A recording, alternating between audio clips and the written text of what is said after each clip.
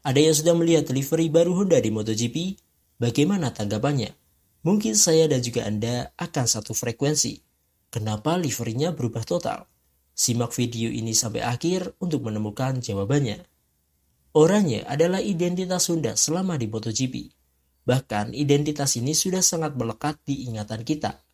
Padahal, jika merujuk warna resmi HRC, tidak terdapat warna oranye di dalamnya. Warna ini adalah imbas dari kerjasama antara HRC dengan Repsol, sebuah perusahaan minyak asal Spanyol dan sudah berlangsung sejak tahun 1995.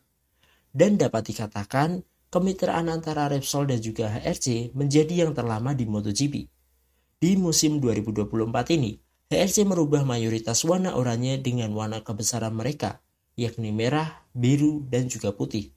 Menurut laporan yang saya terima dari Motorsport, Perubahan ini dilakukan karena Repsol mulai menarik diri sebagai sponsor utama selepas kepergian Mark Marquez dari Honda.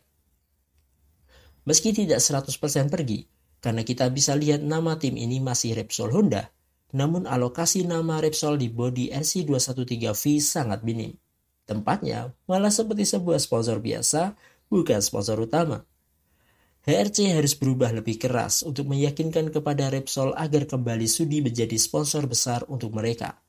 Kini dengan duet Luka Marini dan juga Juan Mir, HRC menatap musim dengan positif. Apalagi mayoritas pebalap Honda juga memiliki kesan positif dengan motor Honda di tahun 2024 ini. Dan menurut saya, ini adalah tahun pembuktian bagi Honda kepada para mitra sponsornya. Apa komentar Anda tentang livery baru Honda di MotoGP? Coba share di kolom komentar.